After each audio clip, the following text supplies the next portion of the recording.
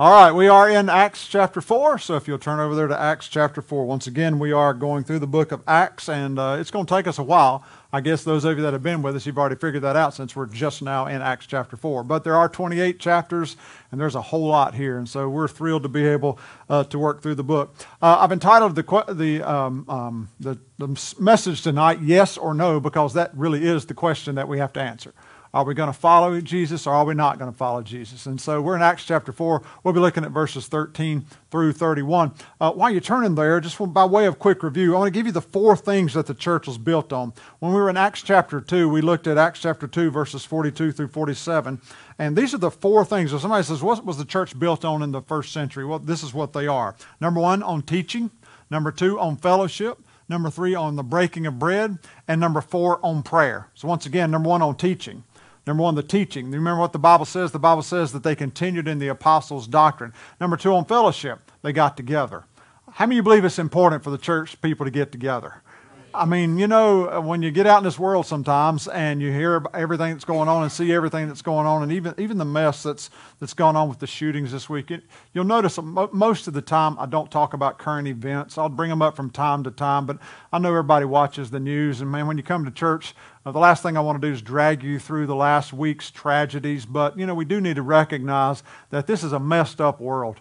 And that's why we come together, is that we'd be reminded that not everybody is following after this dark culture. Not everybody, you know, is going after the way of, we're going to see this week, the way of Cain and Balaam and, and Korah. Uh, I believe this. I believe that when God's people get together, it just kind of gives us a, can I say this? A spiritual shot in the arm, so to speak. It's what we need. And then the breaking of bread. Y'all know, as Baptists, we like to break bread and meat and desserts and everything else. So, you know, we, we love that. And then prayer, like we just spent a, a little season of. You know, we just need to, that's what the church is built on. Good teaching, sound teaching, fellowship, getting together, eating together, and praying together. And all of those things are, are encompass what? Just a strong unity. Uh, Ray Stedman said this. He said, if the church was doing what it's supposed to be doing, people could not stay out. If the church was really doing what we're supposed to be doing, people could not stay out. If we were living exactly as we were supposed to live and preaching and teaching and ministering as we are supposed to, uh, I don't, people, people couldn't stay out. I like what A.W. Tozer said too. He said, The world is waiting to hear. The world is waiting to hear an authentic voice, a voice from God. Now, you know, when it talks about an authentic voice, it's talking about a man or a woman, somebody who has given themselves totally over to God to where they are hearing from God. You know, preach, you're going to have two different types of pastors in the world, two different types of preachers in the world. Number one is the preacher who reads after other preachers who have heard from God, and then you have the preachers who are actually hearing from God. And, and I know sometimes it's going to be both. I mean, I, I, obviously, I'm that preacher that reads after other preachers who have heard from God. Otherwise, I wouldn't be quoting A.W. Tozer right now because he's a guy who heard from God. But I don't want to be the preacher, and I don't want to be the person that just reads after people that hears from God. I want to be the person that hears from God. That's when your voice becomes truly authentic. It's when you've heard from God. Not just you've read after somebody that hears from God, but you yourself are hearing from God. And you notice what he says. He says, not an echo of what others are doing and saying. In other words, you're not just regurgitating what somebody else who heard from God is saying, but you heard from God yourself. Now, let's, let's stop for a second. I'm not talking about you heard an audible voice, you know, I'm talking about you reading His Word and God's Spirit speaking into your heart and into your soul what He wants you to know. He says, not, not what others are doing and saying, but an authentic voice, a voice that is, is expressed and manifested out of a heart and a mind that is totally given over to God. And so when we get to Acts chapter 4, we are hearing from two preachers who have been with Jesus. Matter of fact, the Bible says they took note that they had been with Jesus. And we're talking about Peter and John. You don't get any more authentic than Peter and John in terms of men who God has spoken to and they are speaking to us. Now, just by way of quick review, just so you'll remember, the crippled man in Acts has been healed by the gate beautiful. After that, Peter preaches a three hour sermon. From 3 o'clock till 6 o'clock, he preaches. He and John, uh, as a result of that sermon, they're imprisoned overnight and they're arraigned by the Jewish council or by the Sanhedrin. The Sanhedrin, just by way of, of a reminder, uh, is, is, a, is a, like the, the Jewish Supreme Court. It's made up of 70 members of elders and, and, and, and, rulers and Pharisees and so on and so forth, Sadducees at this point in time. And then the last member, uh, the 71st member, is the high priest. And so there's 71 members of this Supreme Court. And this is who Peter and John stand before in Acts chapter 3 and Acts chapter 4. When the council asked by what power the man was healed, do you remember last week they said, By what power was this man healed? Peter responded, responded, and Peter says it was through the power of Jesus of Nazareth. And then he goes on to say, not just Jesus of Nazareth, but Jesus of Nazareth, who you, and he points to the Sanhedrin. By the way, you remember this, all of the Sanhedrin wasn't present when they convicted Jesus. There's a lot of guys that weren't present. Remember, they had the, the hearing at night. There's a lot of illegal, illegal, illegal things that had gone on. But that's another message. Peter goes on to say, though, to answer them, he says this. He says, It's the power of Jesus of Nazareth, whom you crucified. And then he says in verse 12, and this is where we left it last week, he said, By the way, there is no other name given whereby a man must be saved. It's the powerful, wonderful name of Jesus. And all God's people say, well, this brings us up to speed to here. We're going to look at the rebuke. Look at verses. Look at verse 13, verses 13 through 18. Uh, the rebuke. Our Bible says, "Now, when they saw the boldness of Peter and John, remember what he's just said. Let's go back and read verse 12 so we can kind of read it, you know, uh, as it's written." Peter says, "Nor is there salvation in any other, for there is no other name under heaven given among men." Uh, by which we must be saved. Now, watch what happens. Now, when they saw the boldness of Peter and John, and perceived that they were uneducated and untrained men, they marveled and they realized that they had been with Jesus. They took note that they had been with Jesus. That's the most, one of the most important things that can be said about any of us. And seeing the man who had been healed standing with them, they could say nothing against it. You know, it's hard to, it's hard to speak against the miracle when the evidence for the miracle is standing right there. But when they had commanded them to go uh, aside out of the council, they conferred among themselves, saying, What shall we do to these men? For indeed, that a notable miracle has been done through them is evident to all who dwell in Jerusalem, and we cannot deny it. See, they're, they're, they're in a pickle here because, you know, they, they don't want to acknowledge that they've healed in the name of Jesus, but yet only God can perform a miracle of this magnitude or a miracle of any magnitude. And so they're in a pickle because they, they realize, okay, they said we crucified Jesus. And they're saying Jesus is the power behind this. So if Jesus is the power behind this, then Jesus is God because only God can do these kind of miracles and a notable miracle. So they don't even know what to do. See, it's at this point, and it's very it's so hard to understand. Why don't people just say, let's just acknowledge who Jesus is? I mean, the evidence is all around them. Peter's preaching, the evidence is there, and yet they say, What are we going to do? We can't deny it. Well, if you can't deny it, don't. Right? If you can't deny it, then don't. But there are so many people. We're going to talk about this on Sunday. Again, you remember last week we talked about those filthy dreamers? Hey, there's something about, you know, we're going to talk about Cain, and we're going to talk about Balaam, and we're going to talk about Korah on Sunday morning, specifically Cain. There's something, you know, this afternoon I was thinking about. Not one of those guys are atheists. Cain believed in God. Balaam believed in God. Korah believed in God. It didn't have anything to do with not believing in God. It had to, to do with a rebellious heart toward God. You know, we'll talk about that a little bit, but that's what these guys have. You know, they, these guys believe in God. They just don't believe that Jesus was the Son of God, and they sure don't want to acknowledge that Jesus is the power behind this miracle. So in verse 17, but so that it spreads no further among the people, because we can't have that, let us severely threaten them that from now on they speak to no man in, in this name. They don't know who they're dealing with, do they? So they called them and commanded them not to speak at all nor teach in the name of Jesus. Now, the Sanhedrin here is very quick to point out that Peter and John are uneducated men and they have no Jewish pedigree. And of course, that was vitally important to these men because all of these men had been educated. They had gone, you know, to, to the places of higher learning and they, they had studied Hebrew and they'd studied Israel's history and they considered themselves to be very uh, educated. And so they look at Peter and John and they're just, these guys are just fishermen. And so they're like, you know, by what power do you do this and how do you speak this? You know, but as uneducated as Peter and John seemed, they had graduated with honors from the University of Jesus Christ. And ladies and gentlemen, don't get any better than that, especially when you're talking about theology. They were not formally educated, but they were not uneducated. Now, again, they're simple fi- fishermen, but they are preaching theology and they are preaching doctrine. Uh, I'm reminded of, of 1 Corinthians chapter 1, where our Bible says this, you know.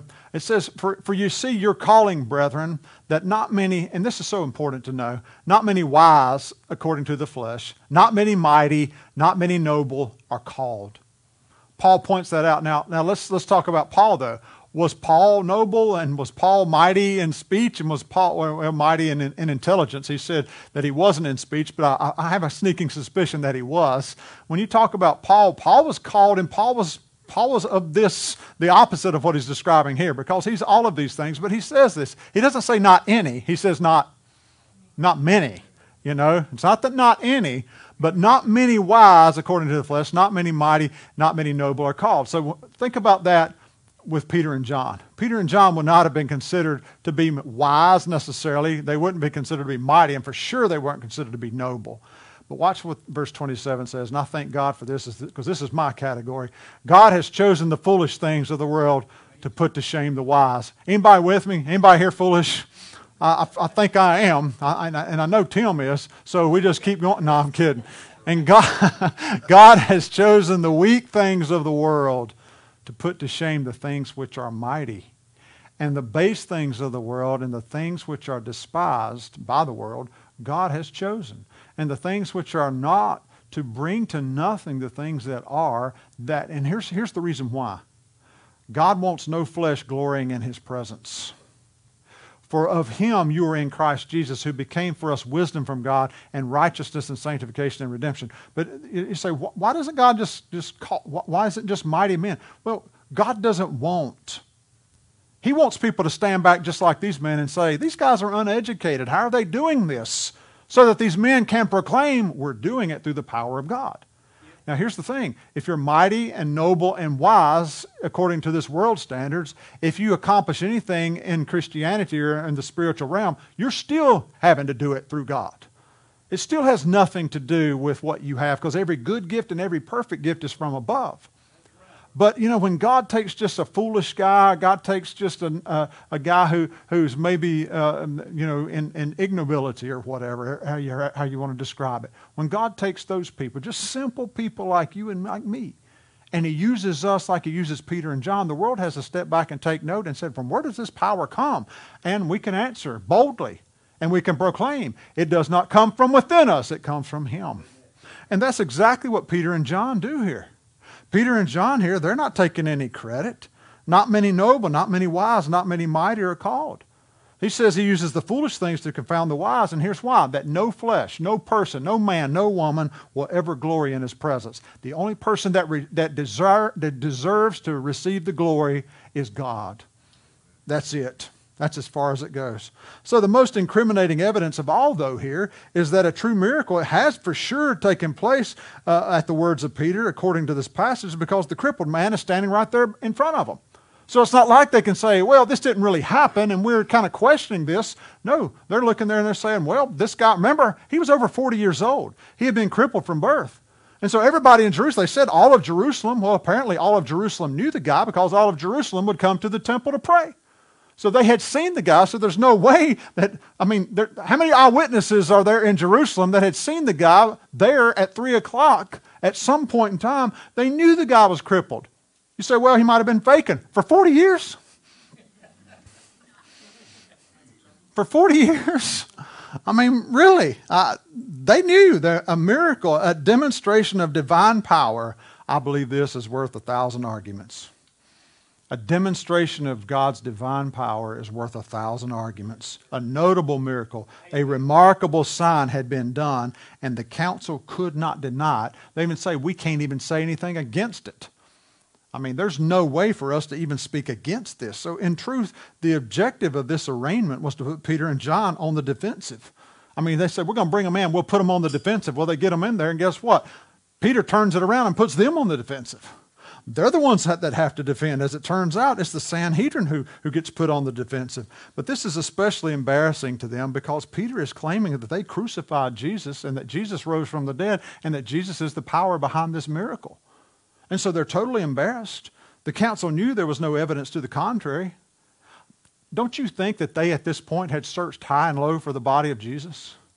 Don't you think that they had exhausted every effort that they possibly could put forth to find the body of Jesus, to find the culprit, to examine the people, to, to, to bring in the witnesses? And, and everybody's saying, hey, you know what? We don't, uh, uh, we don't know what happened. Except the disciples, what are they saying? We've seen him alive. There's 500 people that are going to say they saw him alive. And so as you look at this, you know, they can't, even they can't even defend uh, against their belief that somebody stole the body of Jesus because they have no evidence whatsoever. All the evidence points to Jesus got up. You'll notice that when Peter speaks of the resurrection, the Sanhedrin, they, they refuse to address it. I just gave Brandon a book um, that it's one of my favorites. It's called More Than a Carpenter by Josh McDowell. And, and, and in that book, if you've never read it, I've got some extra copies in my office. Brandon, you're going to enjoy it a lot. Uh, it just simply defends the resurrection of Jesus and gives the evidence behind it. Because people say there's no evidence for the resurrection. All the evidence points toward the resurrection. Every bit of it. Every bit of it. And so, as these guys are hearing these words from Peter and John, they are understanding listen, you know, for some time now, we've been trying to disprove the resurrection of Jesus, and we're missing the one thing that we need the evidence, the body. We can't find the body, and we can't give any logical. These guys are allergic to common sense. That's basically what I'm saying. You know, I mean, you know, when you look at it, you realize there is no other explanation. It's no exp- there's no other explanation at all. It never occurred to these guys, hey, maybe Jesus is alive. Well, he is alive. By the way, the Apostle Paul is going to discover that in Acts chapter 9. It didn't occur to him either until he looked up and saw him, right? When you look up and see him, there's no denying it. So, how did they handle Peter and John? Well, the Bible says here they huddled together and they come up with this brilliant, foolproof plan. Well, not quite. In verse 18, Here's what they say. In Verse 18 So they called them and commanded them not to speak nor to teach in the name of Jesus. Yeah, that's going to work. Yeah, that what Peter's going to say, oh, well, if you put it that way, okay, I won't do it anymore. That's not how it's going to work. That's not how it's going to work. I mean, they say, well, just tell them to be quiet. Tell them to stop preaching in the name of Jesus. That'll stop them in their tracks. Well, in light of this admonishment, Peter and John have a decision to make, and it goes back to our title I don't, I'm not going to take you back to our title because it's so simple, but it goes back to our title. They have to respond to this admonishment, and it's going to be a yes or it's going to be a no. Yes, we will obey God, or no, we will not obey God. Yes, we will continue to obey God and preach in the name of Jesus, or we will buckle under this pressure. And again, that's the same decision that we have to make. And I'm asking you to make this decision for this reason this evening. I'm asking you to make this decision because if you wait until we are put in this position to make it, you'll make the wrong decision. You will make the wrong decision. You know, there's something that's, that's universally true, and it's this the more that you feel, the less you will think the more that you feel, the less you will think. Now, John Hoots is in this room, and, and probably some other football players and basketball players.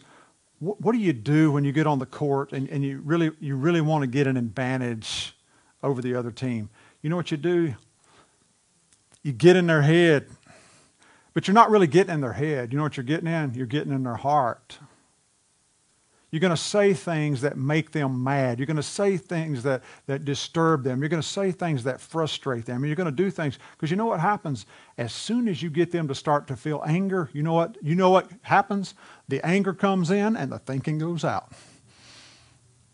The anger comes in and the thinking goes out. Many of you, right now, you can go back to a decision that you made and you made it when you were mad. Right?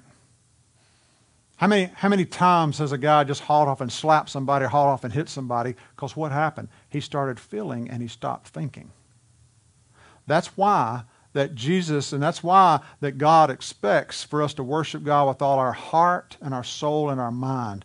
We do, our heart is very, very important because it's where our emotions emerge from. However, we have to remember that sometimes your heart will take you places that your mind does not want you to go. That's why you have to bring every thought into captivity. Because if you do not, what will happen is your heart will give you frustration. Your heart will give you anger. Your heart will give you bitterness. Your heart will give you hurt. And those are natural emotions that we, we, we should feel. There's righteous indignation. There are things that we should feel. However, we have to realize that sometimes this has to rescue this. Because this will take you places that you don't want to go. So, you know, I say that for this reason. We're going to be put in situations as we move forward that's going to make us angry and it's going to hurt us and it's going to play on our emotions. And if we are not careful, uh, careful, our emotions will take over and our mind will stop thinking. So we have to worship God with our mind as well as our heart. Yes, our emotions should be geared toward God and toward others, but here's what can happen. I've seen it happen, especially in the political realm. In the political realm, I have seen people get so mad that they stop thinking along the lines of Christianity. And they just think along the political lines and the, the lines that have been drawn. And ladies and gentlemen, we are Christians before we're politicians. And the day is going to come when we're going to be called on to think like Jesus now, that doesn't mean you divorce your feelings completely from you because your feelings are so important. Your, your feelings are important in your salvation because the Holy Spirit, you know, uh, brings, uh, brings a, a, a conviction that comes into your heart. But you still have your mind to understand and to know what truth is. And so we have to keep those things in balance as we move forward because the time is going to come when this world is going to start pushing all of our buttons. And if we're not careful, we'll be reactors instead of responders. A reactor is a person that has a knee jerk reaction based on their feelings. A responder is a person that, that, that processes the information and then brings all of those thoughts into captivity and then responds through the filling of the Holy Spirit. And so I believe Peter and John here, I believe that they are, are, are serving Jesus out of their heart, but they're also thinking too. They're not letting these guys get in their head. They're just responding in the way that Jesus told them to respond. And so that is so important. And so as we look at this response here, that's what we're going to see. That's my next um, point here. Is as we look at verse 19, their response. Notice how they respond. But Peter and John answered and said to them, you bunch of no good scoundrel. No, see, they didn't say that. Watch what they said. Now, their hearts, no doubt, I'm sure they're feeling it in their hearts, but they're thinking. And they're thinking back of what uh, uh, of the things that Jesus had taught them. And they say this whether it is right in the sight of God to listen to you more uh, than, than God to judge, than, than to God, you judge. Let me read it again because I messed it up. Whether it is right in the sight of God to listen to you more than, than to God, you judge. For we cannot speak the things which we have, we cannot speak the things which, uh, we cannot but speak the things which we have seen and heard. So when they further threatened them, they let them go, finding no way of punishing them because of the people, since they all glorified God for what had been done. For the man was over 40 years old on whom this miracle of healing had been performed. Now, here, Peter and John, they appealed to the higher court, which is what we're going to have to do. When, when, when we are brought before the Sanhedrin, so to speak, of our time, when we're brought before the courts, whether it be a literal court or it just be the court, you know, of public appeal or, or public consensus, whatever the court is, we're going to be brought before that. And we have to keep in mind that these guys are standing here before the very people who are supposedly supposed to, they're supposed to be representing God to Israel. The Sanhedrin are supposed to be representing God, and they are understanding that everybody in the room understands one thing. You know, here's the common denominator of everybody in the room everybody in the room understands only God can perform a miracle. Everybody in, the, in this room understands that. You remember Nicodemus made that very clear when he came to Jesus. You remember what he said? He said, No man can do these miracles except God be with him. So Nicodemus had already set the precedent here that Jesus must be from God. Now, here's what we know Nicodemus thought he was a, a prophet sent from God. He didn't know he was God who was sent to prophesy. There is a huge difference between the two. All right? But Nicodemus didn't know that yet. He found that out, I, I believe, later. But Nicodemus was speaking to Jesus in John chapter 3. But Peter and John, they claim they did it in the power of this same Jesus. So they are actually proposing that Jesus and God are synonymous in identity. And by the way, I'm proposing the same thing tonight. Can I get an amen? They are the same. Peter puts the final nail in the coffin of the debate, debate by simply saying, We are going to obey God rather than you. Now, that's where our thinking comes in. We are going to obey God rather than you. You can, and he, sa- he says this, he says, you can decide what you want to do. That's up to you. But we're going to obey God rather than you, and we can only tell you the truth as we've seen it and as we've heard it. That's all we can do. Acts 5:29. I don't know if I have that. Do I have that? Go over to Acts chapter 5 and look at verse 29 because it's a little bit of a similar situation here. And, I'll say a lot more about the context here when we get there. But our Bible says in verse 29, because they're in a similar situation, Peter and the other apostles answered and said, Here it is, we ought to obey God rather than man.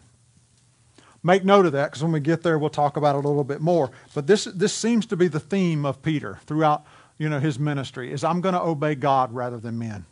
In other words, as we've said before, make God, make Jesus your only audience. If, if, listen, if we can just do that, if we can make Jesus our only audience, it'll solve so many problems. Peter was saying, We don't care what you say. We obey the higher power, and He is our God. And we have seen Jesus ourselves, and so we cannot deny that He's alive. We can't deny it because we've seen it ourselves and we're convinced. Now, the question arises here's the big question Do we obey God or the government? Because I think, as you have seen, our government is not going in the way of God.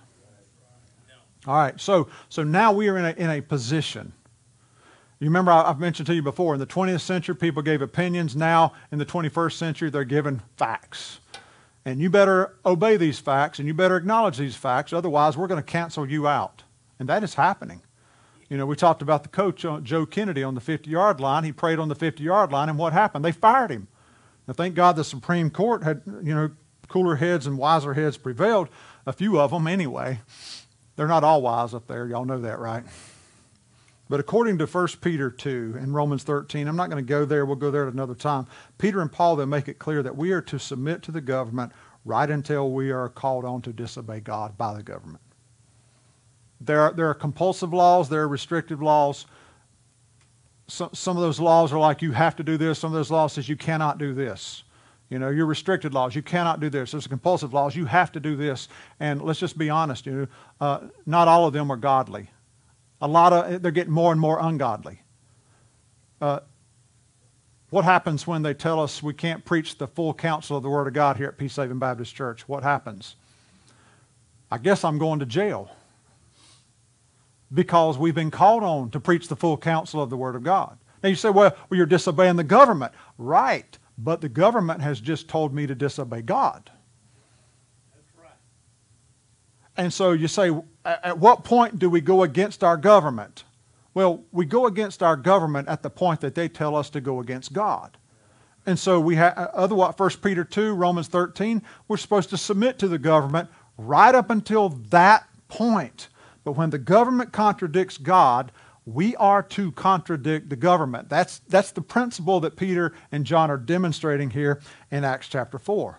Now, civil disobedience, it's a tough subject. I know that because you must make sure that you have black and white, clear cut biblical substantiation. There are some people that say, I'm going against the government, and they don't even have Bible for it. Well, if you're going to go against the government, have some Bible for it. You know, I, I feel bad. These, these pastors, you know, I was reading years ago, and even here recently, pastors in Canada called on to, to marry uh, same-sex couples, and, and they have to do it, or else, you know, the government, uh, you know, is, is after them, and you know, it, just it just it's just really disturbing, and that day may come may come to the United States when they say John Bowman and Peace Haven Baptist Church have to comply. Well, I got news. We don't have to. And we won't. Because at that point, we cease to be a church. Because the church preaches the full counsel of God. And we don't be mean about it. You know, I'm not going to go out here and make a big deal about it.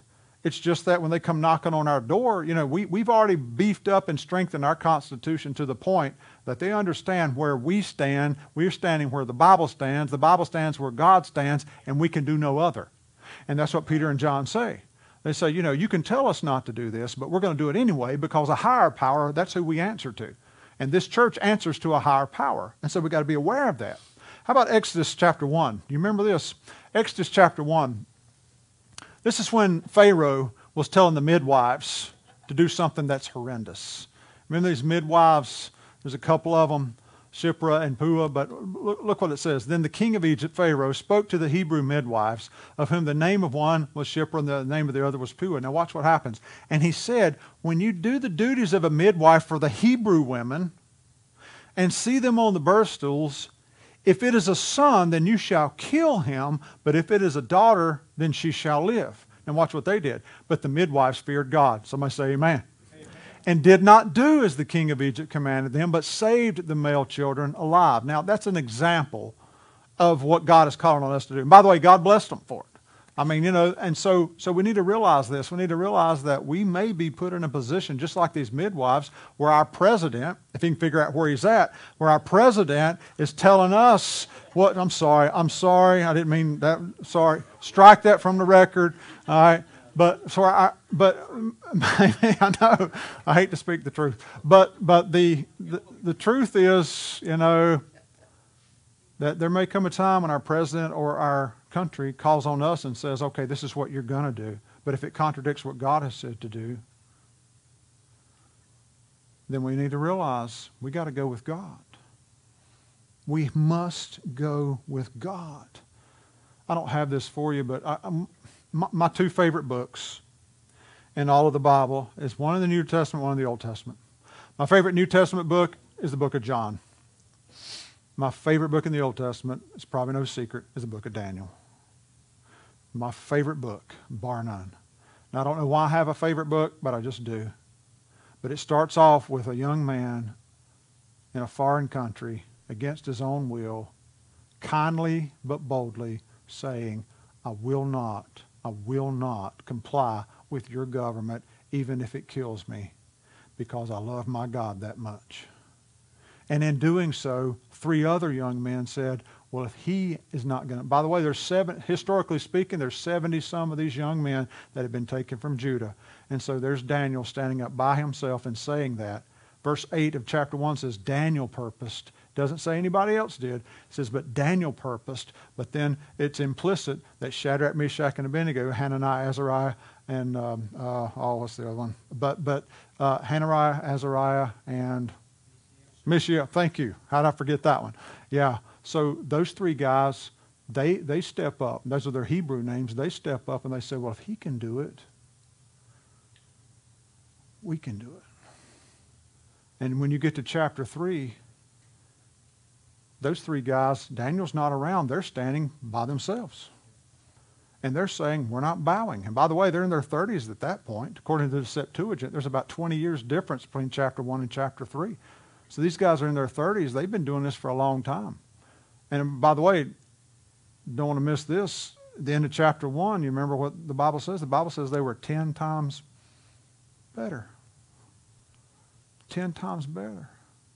So here you have Daniel. The king changed his name to Belteshazzar, which means keeper of the treasure of Baal. But then you got Hananiah, Azariah, Mishael, and there they are. And man, they're standing and they're saying, you know what, we're kind and uh, obviously they had a good standing with the government, but the government said, you got to bow to this image. And they said, no, no, we don't. And you remember what the king said? The king called them in and said, you got to bow. And they said, we don't. Well, who's this God that's going to deliver you? Well, he's the God of Israel. However, even if he don't deliver us, we're delivered. But if not, we're still not bowing because we answer to the higher power. And we've got to get this in our hearts and in our minds because, ladies and gentlemen, the day may come and it may be sooner than we think. Now, keep in mind, once again, Shadrach, Meshach, Abednego, Daniel, they were not belligerent about this. Uh, they were very kind. They were very gracious.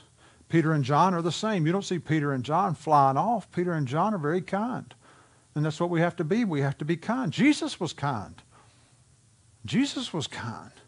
These officials, though, they had no choice but to release them. Look at verse 21 once again. Verse 21. So when they had further threatened them, they let them go, finding no way of punishing them because the people, because, because of the people. They all glorified God for what had been done. For the man was over 40 years old on whom this miracle of healing had been performed. So they had no idea, you know, what are we supposed to do? We can't do anything. So that brings us to the report. So they're released, and look at verse 23. And being let go, Peter and John went to their own companions and reported all that the chief priests and the elders had said to them. So when the, the group, so when they heard that, listen, listen how they responded to Peter and John's response to the uh, Sanhedrin. When they, when they heard it, they raised their voice to God with one accord and said, Lord, you are God, who made heaven and earth and the sea and all that is in them, who by the mouth of your servant David has said, this is Psalm 2, Why did the nations rage and the people plot vain things? The kings of the earth took their stand, and the rulers were gathered together against the Lord and against his Christ. Do I have, do I have Psalm 2, Michelle? Do I have? Let's read that. I, I want to read Psalm 2 literally here. Why do the, why do the nations rage? Uh, this is what they were quoting. And the people plot a vain thing. The kings of the earth set themselves, and the rulers take counsel together against the Lord and against his anointed, saying, Let us break their bonds in pieces and cast away their cords from us. Uh, he, he who sits in the heavens shall laugh, and the Lord shall hold them in derision. Then he shall speak to them in his wrath and distress them in his displeasure. And the reason I, I brought that up is because uh, in, in Acts they don't go as far. And by the way, you can read on in Psalm 2 and, and, see the rest of it. But I just wanted you to see exactly what, what happens. This is what the Lord does. He'll speak to them in his wrath and distress them uh, in his deep displeasure. And so that's what they have done here is they've actually they're they're quoting this and they're rejoicing, you know, and uh, that should bring some comfort to us all. But I, want you to do something. I'm going to take a quick journey. I know we typically I typically have this stuff for you on the screen. But I'm just thinking about something that I want us to do uh, because I want us to go back and I want us to make sure that we understand what Jesus was saying about these events. If you will, go back, if you will, mark your place there, and go back to uh, Mark 13, I believe. Go back to Mark 13 because I want to cross reference what's, what Peter and John did with what Jesus actually said. And I'm going to have you in one place in Mark and two places in Luke, but we're going to do it very quickly. But I just want you to see this. These are very familiar, very familiar verses. But uh, it goes back to Peter and John revisiting what Jesus had said to them and being reminded, I believe, by the Holy Spirit. You remember what Jesus said in John 14? He said, The Spirit, He's going to do what? He's going to teach you all things and bring all things to remembrance. All right, so watch, watch what happens here in verse, verse 11. Mark 13. But when they arrest you, Jesus says to his disciples, and deliver you up, do not worry beforehand or premeditate what you shall speak, but whatever is given you in that hour, speak that, for it is not you who speak, but the Holy Spirit. Now, again, think about what happened here in Acts chapter 4. Think about what happened when Peter and John were standing there as they speak, where's this, where's this speech coming from? Well, Jesus said, when they bring you up, the Spirit of God will give you. Now, the reason I'm having you to do this is because many times, you know, I've told you before that a preacher will stand up and he'll say, Well, the Bible says that uh, when I stand up, that he'll put the words in my mouth so I don't need to study. I disagree. I disagree. That is not what this passage is teaching. This passage is teaching that when you are brought before those that oppress you, and those that accuse you when you're brought before the council, God in that moment. Now, I even believe that we need to be prepared for that moment, right? Go over to Luke chapter 12. We'll look at Luke chapter 12 real quick. I'm bringing you back. But just go over one, just one book. All right. Luke is right after Mark, so it's not very far to go. And just go to Luke chapter 12. Luke chapter 12. And just make notes of these as you want to go back and probably study the entire context. But look at Luke chapter 12. Now look at verse 11. Jesus says this. It's a parallel passage. Now, when they bring you to the synagogues and magistrates and authorities, do not worry about how or what you should answer or what you just should say. Here he says it again, parallel passage, as Luke records, for the Holy Spirit will teach you in that very hour what you ought to say. Now go quickly to Luke 21. I'm having you to do this because Jesus considered it to be so important.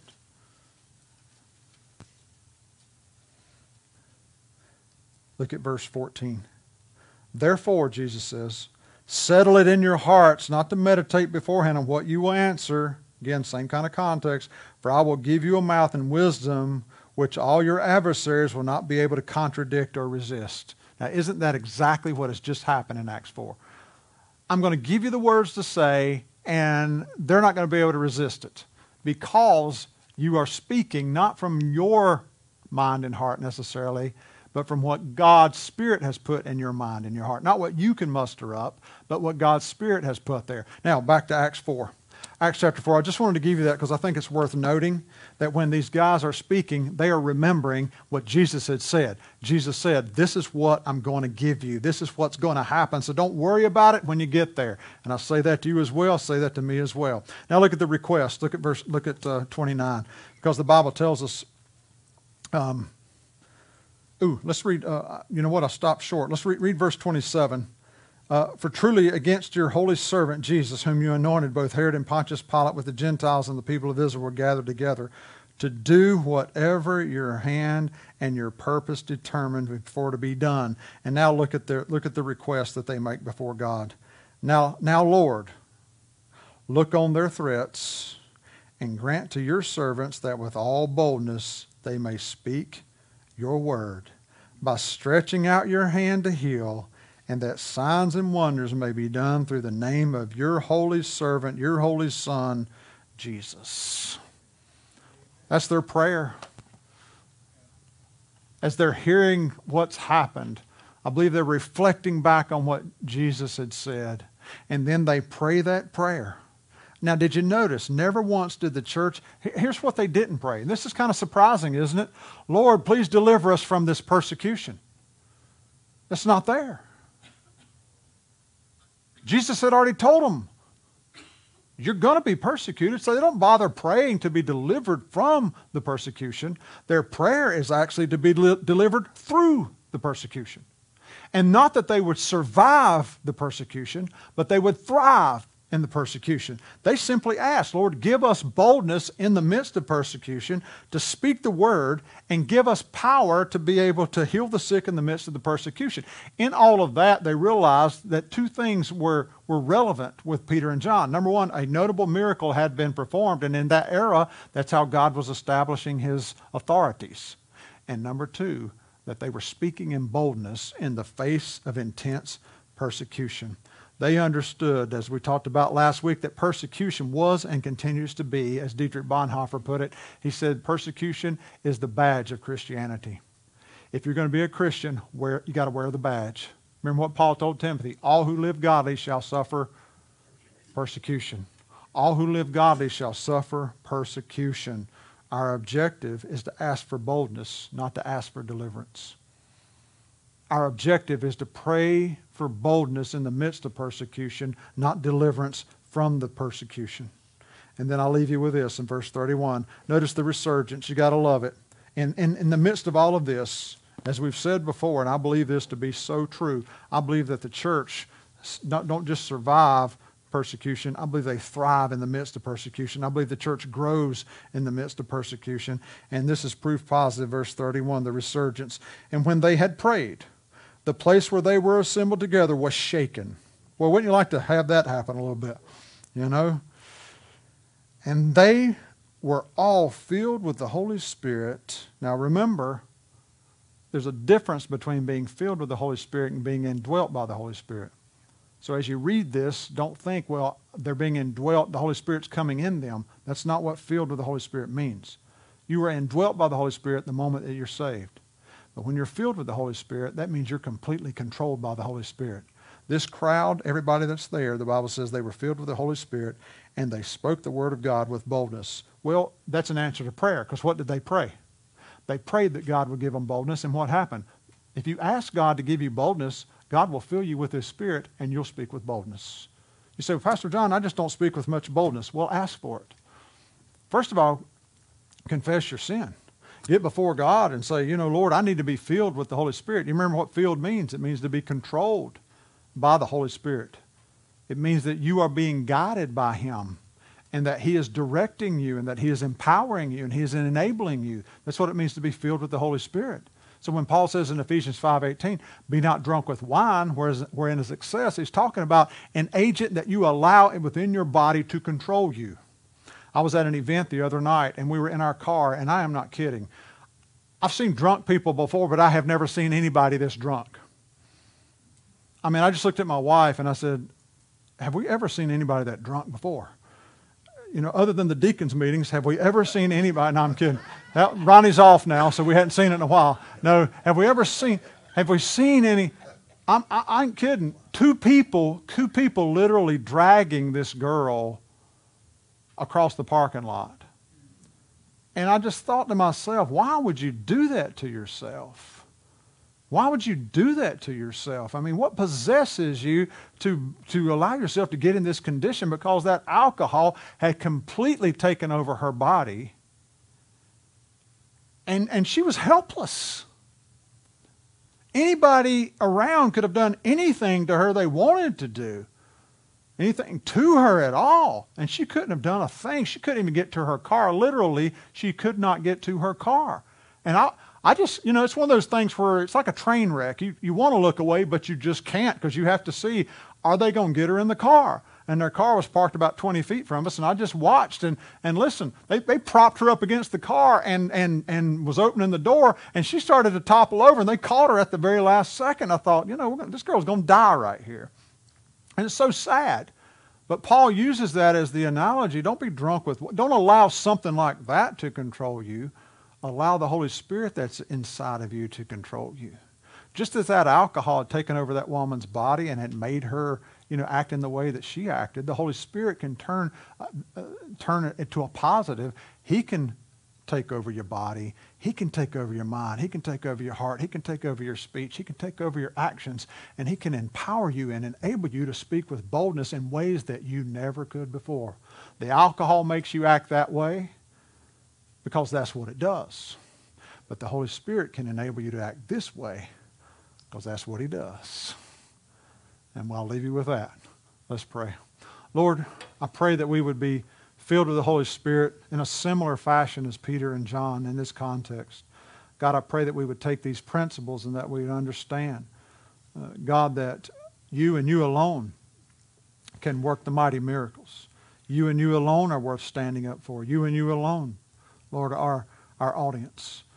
And Lord, as our government appears to get darker and darker, God, as the laws become more and more ungodly, even as we talked about in Sodom and Gomorrah, where they protect the ungodly.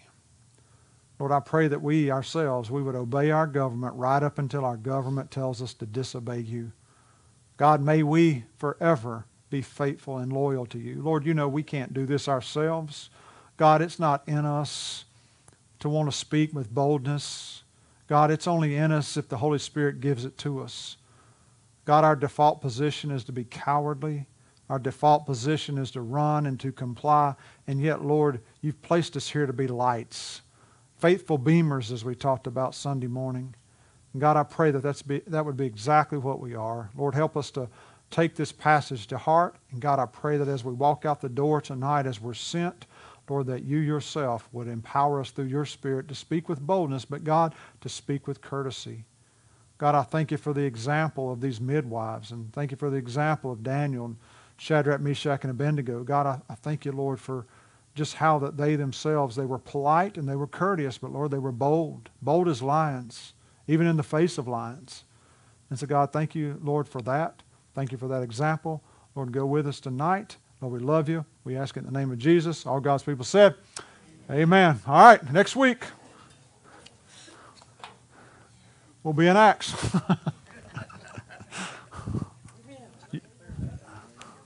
I know why I know y'all want more.